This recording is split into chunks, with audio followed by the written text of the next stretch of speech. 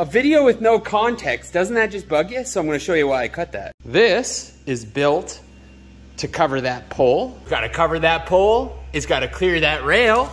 And it's gotta clear this pole, which was just sticking out a hair too far. And just like that, with a little chainsaw clearance, this can sit tight against the wall. Beautiful.